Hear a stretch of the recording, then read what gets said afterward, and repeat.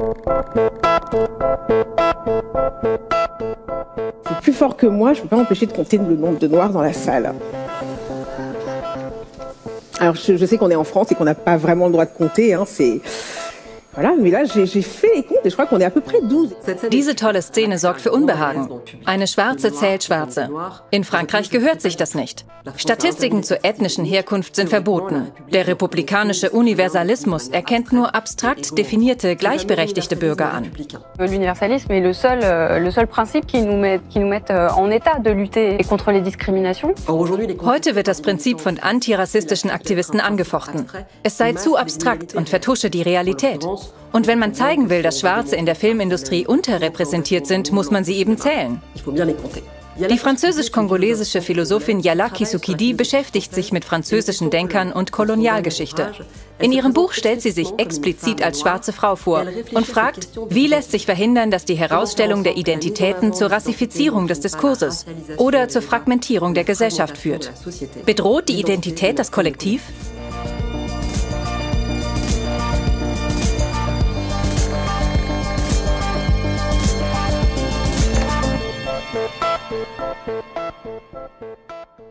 Yala Kisukidi doziert an der Uni Paris 8. In ihrem Buch erzählt sie, wie sie zur Philosophie kam.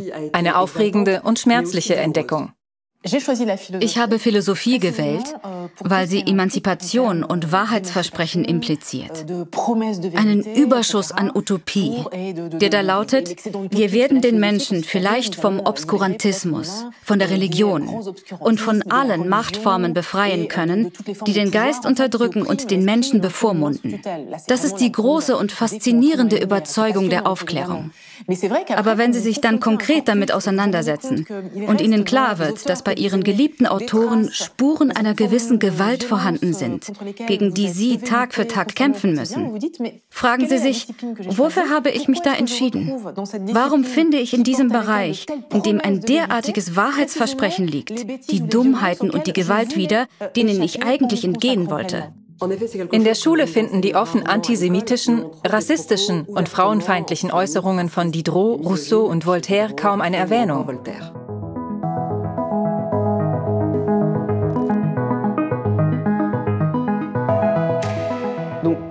Wie wirkt sich Ihre französisch-kongolesische Identität auf Ihr politisches Denken aus? Ich weiß nicht, ob sie das tut. Fest steht aber, sobald man sich in einem besonderen Kontext befindet, wird man mit bestimmten Wörtern und Begriffen konfrontiert und muss damit ein Leben lang umgehen, egal was passiert. Ab dem Moment meiner Geburt prasselten diese Wörter auf mich ein. Wörter, die einen in den eigenen Lebensmöglichkeiten beschränken und zu denen man eine reflexive Beziehung aufbauen muss. Bei mir waren es Wörter wie schwarz oder auch Frau. Und die immer wiederkehrende Frage nach meiner Nationalität. Man muss sich also zuerst fragen, was mache ich mit diesen Wörtern? Eine interessante Frage. Nicht etwa, weil sie einen dazu führt, sich selbst zu definieren und zu sagen, ich bin eine schwarze Frau, sondern weil das, was wir letztlich aus diesen Wörtern machen, wie wir sie ablehnen, akzeptieren oder neu erfinden, unsere politischen Wunschvorstellungen für diese Welt widerspiegelt. In den Medien werden Antirassisten, die von Diskriminierungsopfern sprechen, oft beschuldigt, die Begriffe Rasse und Herkunft wieder zum Thema zu machen. Dabei lautet ein Hauptprinzip Frankreichs, dass es keine Rassen gibt. Wenn ich zu der Idee stehe, mein Wesen mit dem Wort schwarz zu versehen, dann nicht, weil ich dem rassistischen Diskurs verfallen bin, sondern weil ich die rassistische Vorstellung ablehne, dass Schwarzsein Nichtsein bedeutet.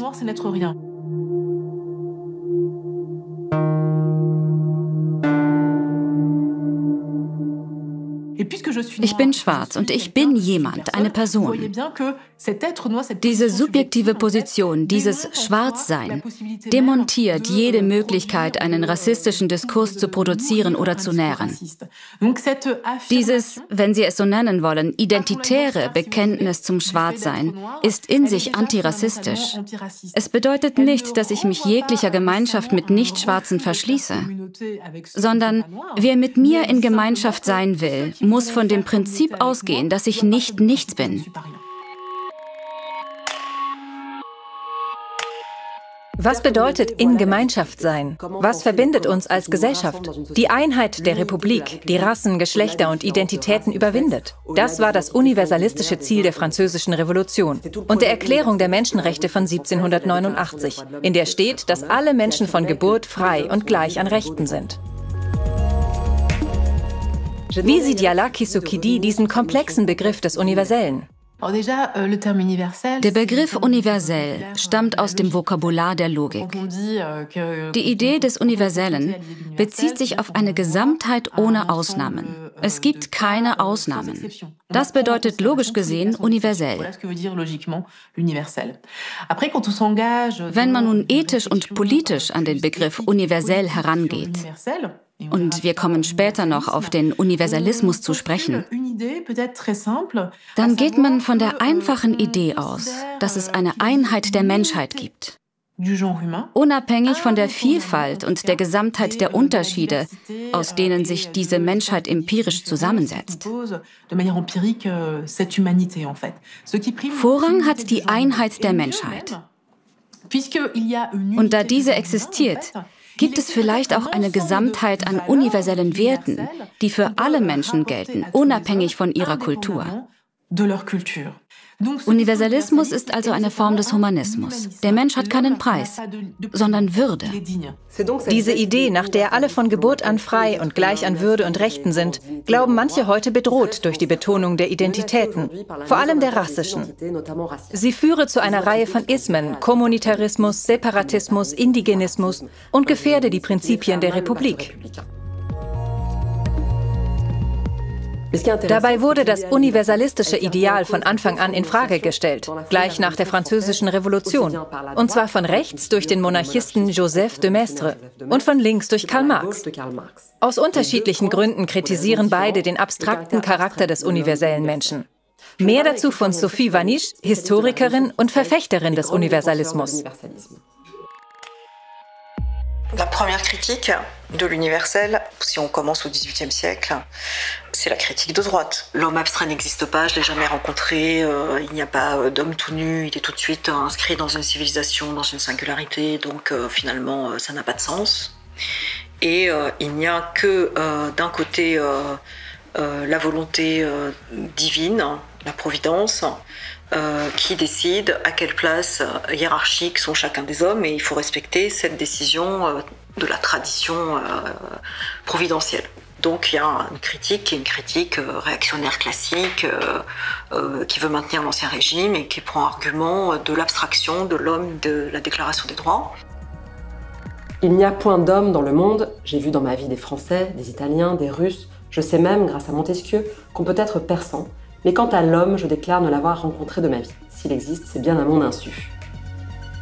Mais du côté gauche, eh ben, ça a une tradition assez ancienne, parce qu'en en fait, c'est Marx qui, le premier, critiquant la révolution qu'il considère comme bourgeoise, c'est-à-dire il considère que puisque la bourgeoisie l'a emporté, la révolution est bourgeoise, il considère que euh, les, droits sont en fait euh, des, des, objets idéologiques qui viennent camoufler euh, la réalité matérielle. Et cette critique-là, elle est euh, fondamentale aujourd'hui. Voilà, c'est quelque chose euh, qui irrigue euh, vraiment euh, la gauche radicale. Im letzten Artikel der Menschenrechte steht, das Eigentum ist ein unverletzliches und heiliges Recht. Für Marx ist das universelle Recht also vor allem ein bürgerliches. Freiheit und Gleichheit sind für ihn rein theoretisch, da manche Menschen andere ausbeuten. Die Kritik von links und rechts am abstrakten Charakter des Universalismus ist also nichts Neues. Nur äußert sie sich heute identitätsbezogen. Ich möchte mit Ihnen über die Bedenken und Ängste mancher Verfechter des republikanischen Universalismus sprechen. Sie kritisieren die identitäre Lesart, die unterdrückte Identitäten gegen die weiße Mehrheit ausspielt. Diese wiederum fühlt sich dadurch ebenfalls bedroht. So könnte es zu einer Art Krieg der Identitäten kommen, bei dem es nicht mehr um universelle Themen und gemeinsame Projekte gehen würde. Die Identitätsdebatte ist heikel.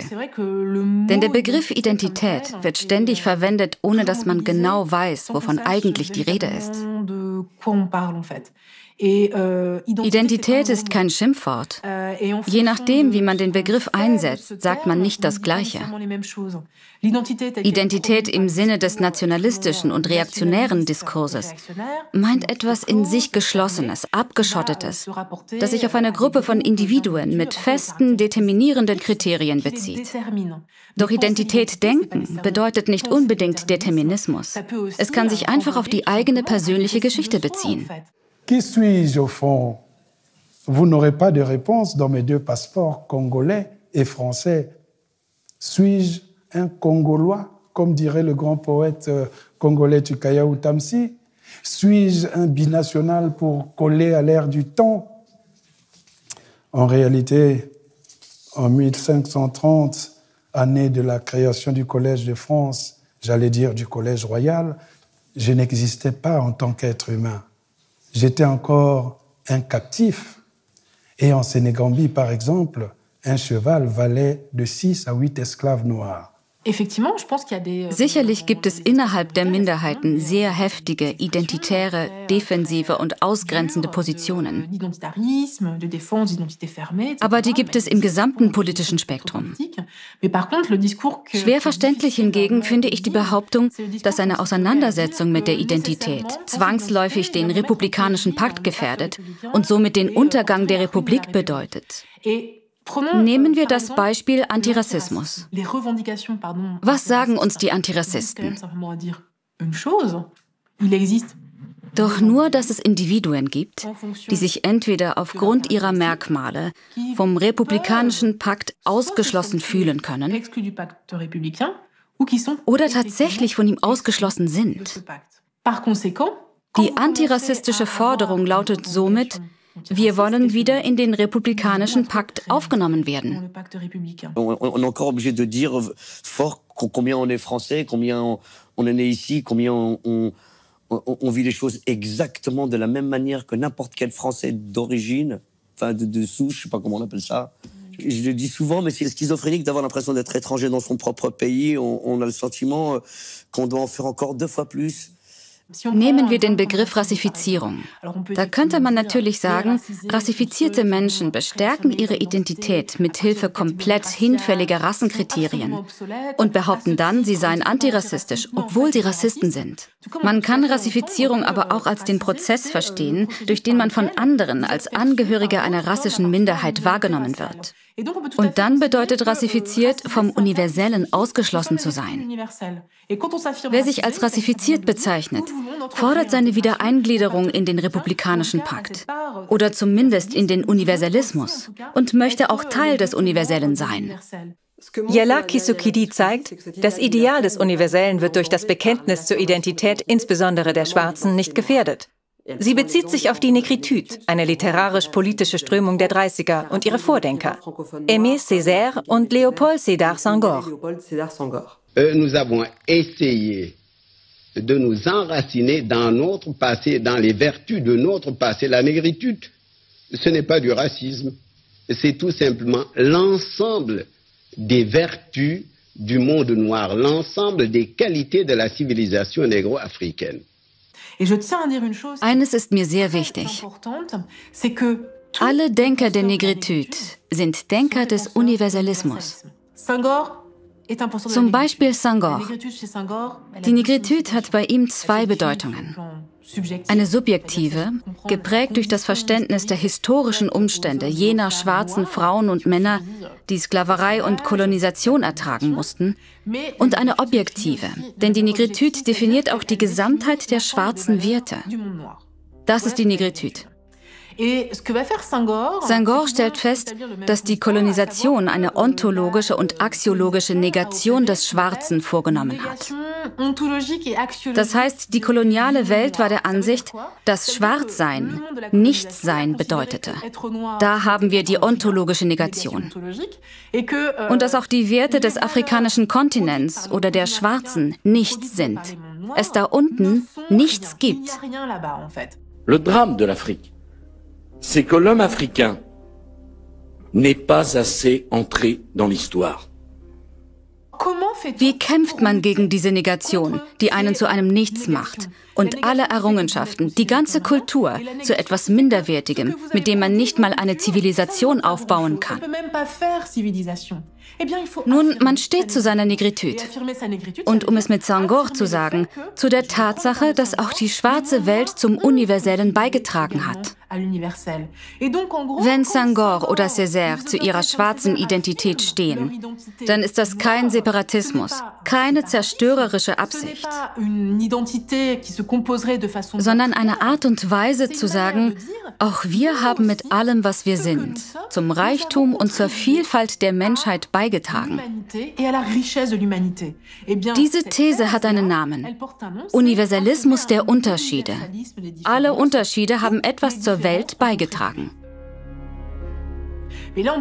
Jetzt könnte man sagen, damit ist das Problem aber nicht geregelt. Denn es bedeutet ja, dass die Menschheit aus vielen kleinen Inseln besteht, die nicht miteinander kommunizieren die schwarze oder afrikanische Welt auf der einen Seite, die asiatische auf der anderen und dann noch die europäische.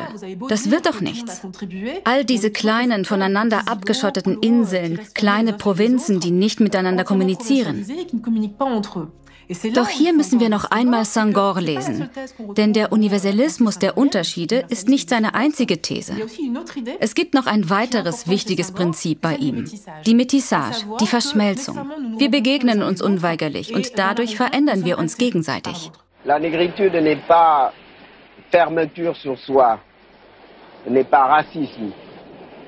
La négritude est au contraire ouverture à tous les souffles du monde, à tous les apports des autres civilisations, euh, car nous pensons que toute grande civilisation est métissage, par enracinement dans son terroir et ouverture aux autres civilisations. Par conséquent, Wenn Senghor also von einer universellen Zivilisation spricht, meint er zweierlei. Wir, die Schwarzen, haben dazu beigetragen. Und dieser Beitrag ist Ausdruck unserer Zugehörigkeit zur Menschheit. Einer Menschheit, die sich ständig am anderen bereichert und sich dadurch verändert. Das Prinzip der Negritude umfasst also sowohl das Bekenntnis zu unseren Unterschieden, welches für die Erklärung des Universellen unerlässlich ist, als auch die Idee, dass wir uns durch den Kontakt zu anderen ständig verändern und verwandeln. In der heutigen Debatte hingegen neigt man eher dazu zu sagen, du kannst nicht gleichzeitig behaupten, du seist schwarz und universalistisch. Die Strömung der Negritude bestand aber genau darin, aus der subjektiven schwarzen Haltung heraus einen neuen Universalismus zu ermöglichen und universelle Fehlannahmen auseinanderzunehmen und anzuprangern. Die Negritude ist nicht gegen das Universelle, sondern gegen universelle Fehlannahmen von Weißen für Weiße. Das gilt auch für die Denker des Postkolonialismus. Sie kritisieren, wie der angeblich universalistische Westen die Gleichheit und Freiheit der Kolonisierten mit Füßen trat. Das Bekenntnis zum Universellen schützt nicht davor, andere weiterhin von diesem Universellen auszuschließen. Die postkoloniale Kritik war ursprünglich eine Denkrichtung der vergleichenden Literaturwissenschaft und bildete sich Ende der 70er Jahre heraus, vor allem nach Erscheinen des extrem wichtigen Werks Orientalismus von Edward Said. Euh, die postkolonialen Denker hinterfragten die sogenannte westliche Modernität euh, und die Art und Weise, wie diese unter Einfluss der Kolonialgeschichte das andere erschuf. Das orientalische andere, das afrikanische andere, das nicht-europäische andere. Der euh, Kolonialismus hat Teile der Menschheit ausgeschlossen. Nicht alle Kolonisierten wurden in die große Familie der Menschheit aufgenommen. Eine der Hauptkritiken am Universalismus, die auch die postkolonialen Denker äußern, ist folgende.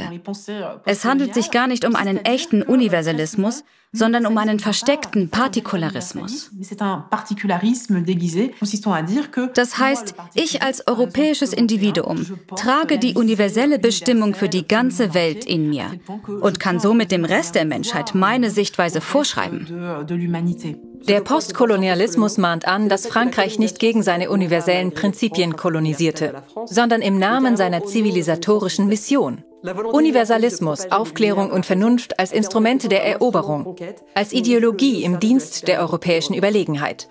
Die Kolonisation ist zwar vorbei, doch die Dekolonialisten sagen, sie prägt bis heute unsere Gesellschaft, Wirtschaft, Mentalität und Kenntnisse. So ist es sehr eurozentrisch, wenn Schüler lernen, dass Christoph Kolumbus Amerika entdeckte, einen bewohnten Kontinent. Die Dekolonialisten wollen zeigen, dass Europa nicht der Mittelpunkt der Welt ist und dass es auch nicht europäisches, nicht weißes Wissen gibt. Der bedeutende Dekolonialist Walter Mignolo spricht von epistemischem Ungehorsam. Das klingt kompliziert, ist aber einfach.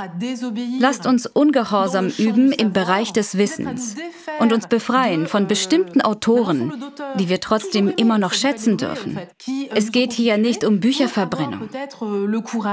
Lasst uns den Mut haben, uns anderen Arten des Wissens zuzuwenden, die oft verleugnet oder abgewertet wurden. So werden wir vielleicht begreifen, dass es möglich ist, die Welt anders zu denken. Identität ist nicht gleichzusetzen mit Abschottung, Rassifizierung oder Separatismus. Die nicht weiße Kritik am Universalismus betrifft nicht das Ideal von Freiheit und Gleichheit für alle, sondern einen missbräuchlichen Republikanismus mit dem Ziel der Assimilation und Vertuschung realer Unterschiede. Zu entscheiden gilt es sich also nicht zwischen Universalismus und Partikularismus, sondern den universellen Fehlernamen des Westens und der universellen Offenheit für die Einzigartigkeit.